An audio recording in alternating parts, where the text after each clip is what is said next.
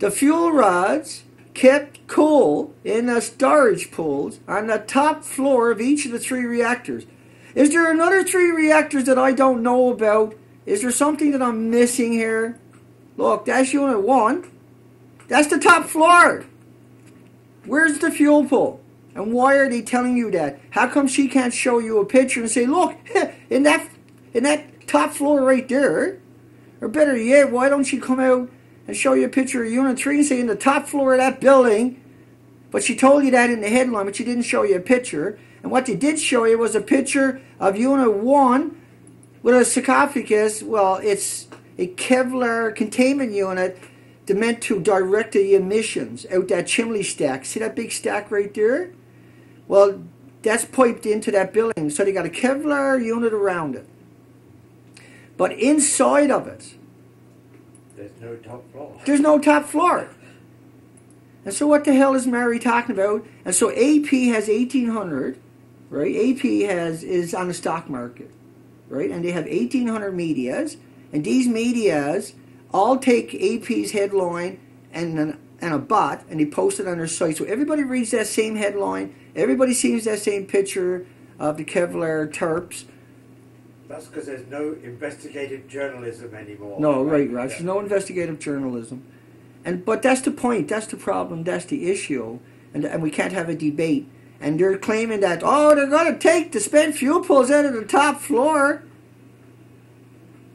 So why wouldn't you want to slap that in the mouth if you ran across it? Can you imagine me being on on a stage with that person sat alongside of me, and saying, "Well, all, all the spent fuel pools, Dana, are kept in the top floor." Whack. Dana goes to jail, hitting a girl of all things. The 24-hour live stream is coming up on the 16th, and that's to bring awareness to Fukushima and the Expedition for Life and its research. And we want a nuclear scientist or a nuclear proctologist, if you can find one, to come out and debunk me. We want a nuclear scientist to come out and explain why Dana is making simple mistakes and drawing terrible conclusions. And like Roger said, if you go to the buildings and you get on the right ang- angle, you can see the fuel pools. Right? I But these pictures. I never said that.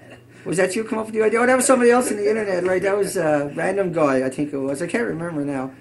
But like, it, are the spent fuel pool? Do you see a spent fuel pool on the top floor of that building?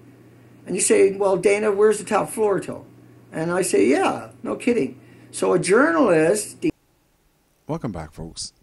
Connecting Dots here, aka Silver Gold Man. Okay, you heard it from the horse's mouth. Uh, he would he would hit a woman because she does not agree with that with his perception. And I mean, I'm about to show you here very quickly in this very short video how this guy is absolutely either he's out to lunch and doesn't do proper research, or he's willing to hit women because he's absolutely wrong. I mean, yeah, a loose cannon, unbelievable. Just hold on a second here. Let me get this page loaded. Okay, so this is him. This is the video that you just saw, or a small portion of it. Uh, he's announcing here that on June 16th, he'll be beginning this 24 hour Fukushima live stream nuclear marathon.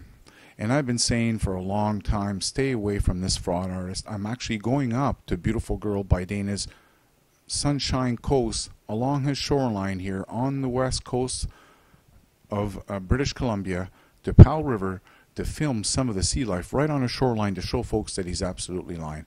Okay, so I'm doing the same thing. I'm holding the same 24 hour live stream. I'm not sure you heard of it, but yeah, I'll be speaking about Fukushima. And one of the things I'm going to be doing is debunking Dana because.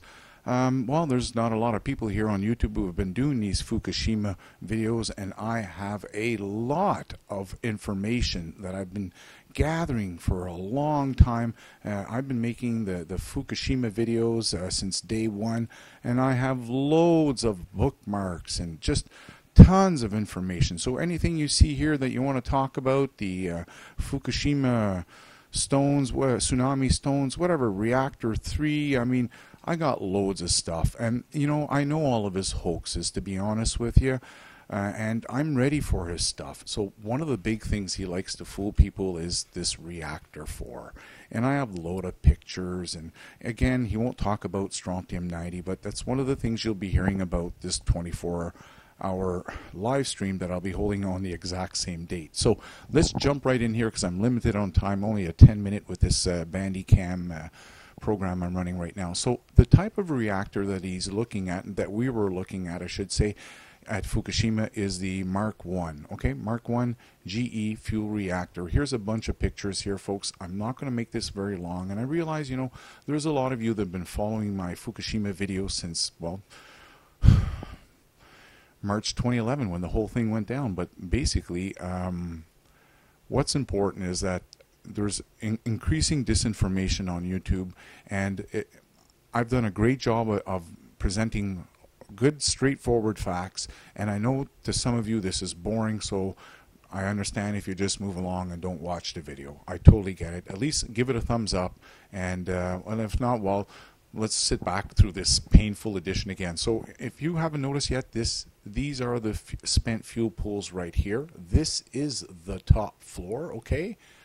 Um, in his picture, he's trying to tell you, lead you to believe that there was a floor in here and it's all gone. No, in fact, you may notice this large beam running through the center here of these um, top blown out walls. That's because that's where this mechanical device would go back and forth to pick up the spent uh, the fuel pools and drop them in the other one. And uh, anyways, this is very uh, basic and it's not very tough. So 26 is the overhead crane that ran back and forth on the building.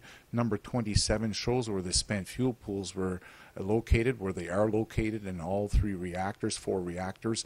Here's a beautiful colored picture that I pulled out of the Mark 1 reactor. Again, it shows you where the spent fuel pool is sitting.